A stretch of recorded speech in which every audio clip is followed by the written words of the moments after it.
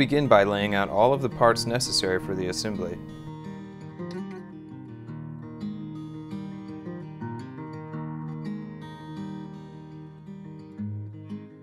Start by building the legs.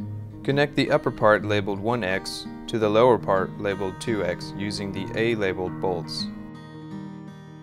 Be sure to hand tighten all bolts. Remember that bolts should not be tightened fully until the end of the assembly. Connect parts 1y and 2y the same way.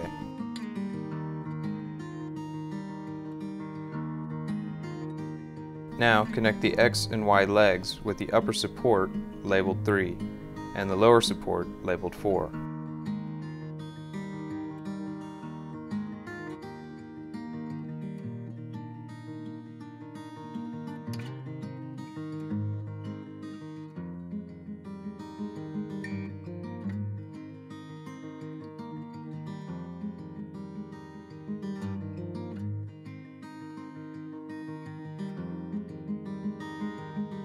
Repeat this process and attach the remaining supports to complete the frame.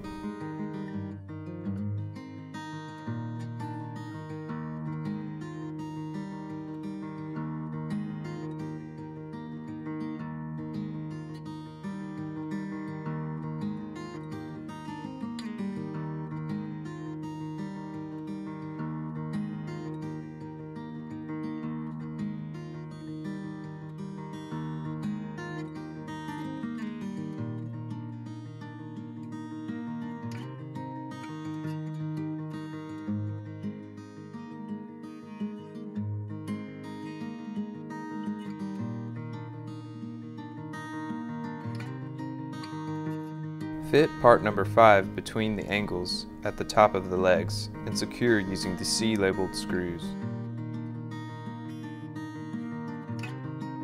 Slide the platform over the top and into place. Fasten using the C-labeled screws.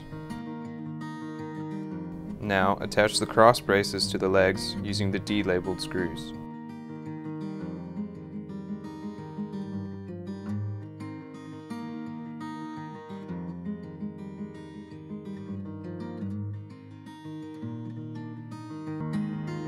Attach the fan blades to the hub using the number 6 screws.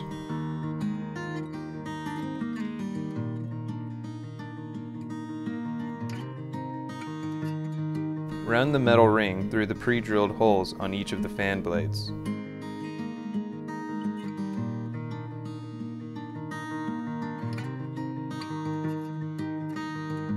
Secure the ends together by bending with pliers.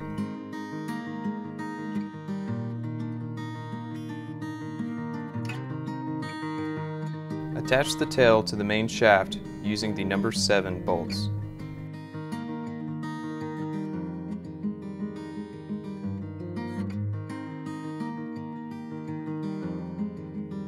Insert the shaft into the fan head and tighten the nut.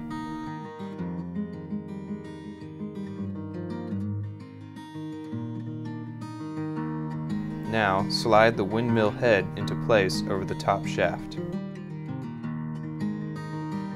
Remember to tighten all nuts, bolts, and screws fully.